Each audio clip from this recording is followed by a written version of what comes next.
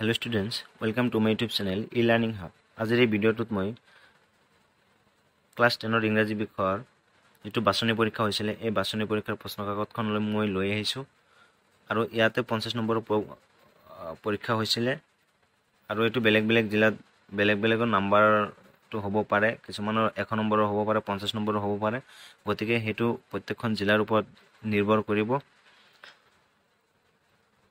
এতিয়া আমি কুৱেশ্যনলৈ আহোঁ আমাৰ কুৱেশ্যনকেইটা আচলতে চাব মানে মেইনলি চাব লাগে। মানে এই কুৱেশ্যনকেইটা তোমালোকৰ বেলেগ বেলেগ জিলাতো কমন থাকিব পাৰে আৰু নহ'লে মেট্ৰিক পৰীক্ষাটো কমন থাকিব পাৰে। গতিকে এতিয়া আমি কুৱেশ্যনলৈ চাওঁ। The post master was a fat amiable man also' broke out লাফিং choose from below' the word that is same in meaning as amiable মানে এই এমাইবল শব্দটোৰ অৰ্থ তলত চাৰিটা অপশ্যনৰ মাজত দিয়া আছে সেইটো বিচাৰি উলিয়াব লাগে।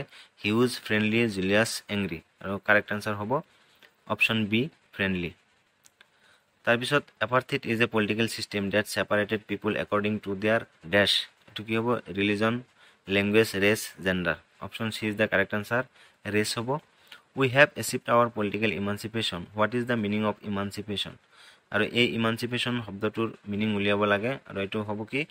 Option A freedom from restriction land of rolling hills is also' known as এইটো কি হ'ব? Option A is the correct answer Coorg between Mysore and the coastal town of this sits a piece of heaven এইটো কি হ'ব? Option B is the correct answer Mangalore তাৰপিছত পয়েমৰ পৰাও পাঁচটা এম চি কিউ দিয়া আছে। How do the eyes of the tiger look এইটো ছেড ব্ৰিলিয়েণ্ট এইটো কি হ'ব? ডাৰ্ক হ'ব ডাৰ্ক আছে লাইট আৰু option B is the correct answer brilliant who passes near the water hole এইটো option C is the correct answer fat দিয়া। Chocolate was harmful for Amanda এইটো কি হ'ব অপশ্যন চি শুদ্ধ একনে don't bind bite your nails Amanda who is the speaker here এইটো কি হ'ব option C is the correct answer Amanda's mother ইয়াত Amanda আছে এইটো এন টু এম হ'ব তাৰপিছত কুৱেশ্যন নম্বৰ ফাইভ ইয়াতো এনেণ্ডাছ আছে এইটো কি হ'ব Amanda's Amanda's desire was to be a mermaid living in the dash sea এইটো কি হ'ব অপশ্যন এ গ্ৰীণ চি তাৰপিছত question number three write very short answer of the following question মানে তলৰ কুৱেশ্যনবিলাকৰ একেবাৰে চুটি উত্তৰ লিখিব লাগে। Where is Coorg situated Coorg ক'ত অৱস্থিত? Coorg Coorg is situated between between the midway of Mysore and Bangalore who was the first chief of Indian army এইটো কি হ'ব? General Cariappa what was the one hope of Lencho লেন্সৰ hope কি আছিলে? আশা কি আছিলে? A downpour when did the when did Mandela begin to hunger for freedom Mandela begin to hunger for freedom when he became youth where was Lencho's house located Lencho's house was লিকুৱেড located top of a low hill তাৰপিছত question number four rewrite the following sentence putting the verb এনে মানে tense correction কৰিব দিছে it is time you went home এইটো গ'টো কি হ'ব went when he entered my room I write a letter এইটো কি হ'ব I was writing a letter তাৰপিছত fill in the blanks with correct determiner determiner বহাব লাগিব he received this help from his teacher ইয়াত কি হ'ব মাৰ্কছ হ'ব যিহেতু হেল্পটো আনকাউণ্টেবল গতিকে মাৰ্কছ হ'ব N C C cadet N N C C cadet give short answers of the following মানে ইয়াতে তিনিটা কুৱেশ্যন দিয়া আছে। ইয়াৰ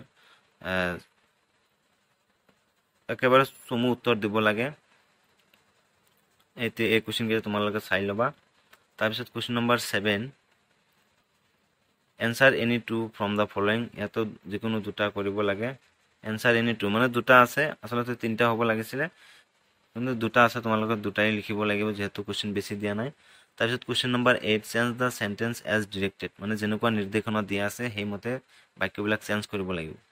প্ৰথমে দিয়া আছে Ram said I did the work change into indirect narration এইটো ইনডাইৰেক্ট নেৰেশ্যন বনাব লাগে।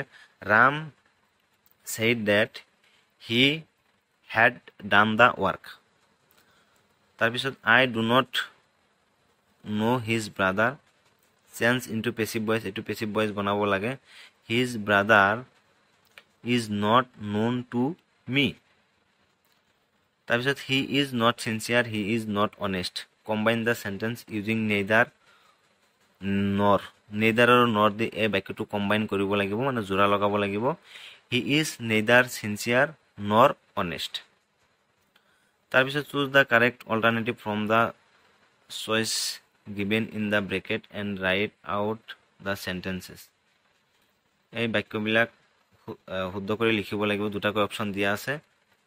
কোনটো শুদ্ধ সেইটো লিখিব লাগিব। The tiger is a beast of this prey prey. এইটো যিটো পি আৰ এ ৱাই এই প্ৰে হ'ল প্ৰাৰ্থনা। পি আৰ ই ৱাই এইটো হ'ল স্বীকাৰ কৰা। গতিকে কি হ'ব? P R E Y the boy has dash a mistake made done ইয়াত মেড নহ'ব ইয়াত কি হ'ব? ডান হ'ব। The boy has done a mistake তাৰপিছত এছে আহিছে write an essay on either of the following topics যিকোনো দুটা এটা লিখিব লাগিব। Your aim in life a historical place you visited or নহ'লে এটা অপশ্যন দিয়া আছে। এছেটো নিলিখিলে তলত এটা ষ্টৰি ৰাইটিং আছে। এই ষ্টৰি ৰাইটিংটো তোমালোকে লিখিব লাগিব। এইটো একেবাৰে সহজ। এই hungry fox sees a crow' with a piece of meat এইটো তোমালোকে চাইছা আৰু মই ষ্টৰি ৰাইটিং কেনেকৈ লিখিব লাগে তাৰ এটা ভিডিঅ' মই বনাইছোঁ আৰু সেইটো ডেছক্ৰিপশ্যন বক্সত মই লিংকটো দি দিছোঁ তাৰ পৰা তোমালোকে চাব পাৰিবা। অতি অতি সহজে তোমালোকে ষ্টৰি ৰাইটিং লিখিব পাৰিবা। তাৰপিছত write a letter to your friend asking him her to join for a picnic এইটো তোমাৰ এটা লেটাৰ লিখিব লাগিব ইয়াত কোনো অৰ নাই এইটো লিখিবই লাগিব।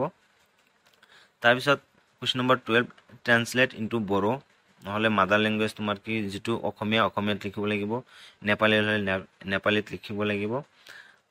এইটো প্ৰথমে দিয়া আছে দ্য আৰ্থ ইজ ৰাউণ্ড এইটো কি হ'ব? মই অসমীয়াত কৈ দিছোঁ। দ্য আৰ্থ ইজ ৰাউণ্ড পৃথিৱী পৃথিৱীখন ঘূৰণীয়া।